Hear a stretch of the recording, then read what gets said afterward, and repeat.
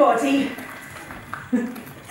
Get me out of this! How does it feel to wear their body around like a top hat or a wristwatch? Or an accessory for tomorrow's hate crimes. A lot of people assume that brown women are like angry and coarse, but I think we rightfully are so. It's called Bitch 101, and I'm the professor, Professor Bitch. School is in session. Open the book. Let me read you down. The Marlborough is always exceptional. It's always, it's got its own character, its programmes work, but you know if you're coming to see something here, that'll be great. Yeah. I love the shows.